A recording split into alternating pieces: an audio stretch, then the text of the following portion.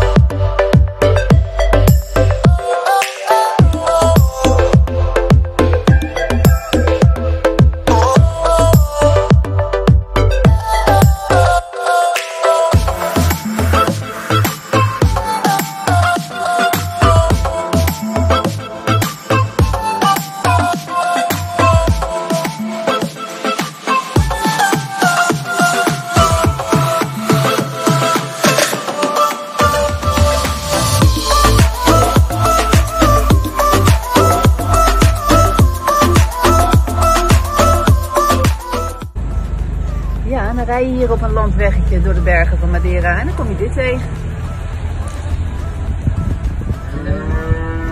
Hé, hey, joh, ga eens aan de kant.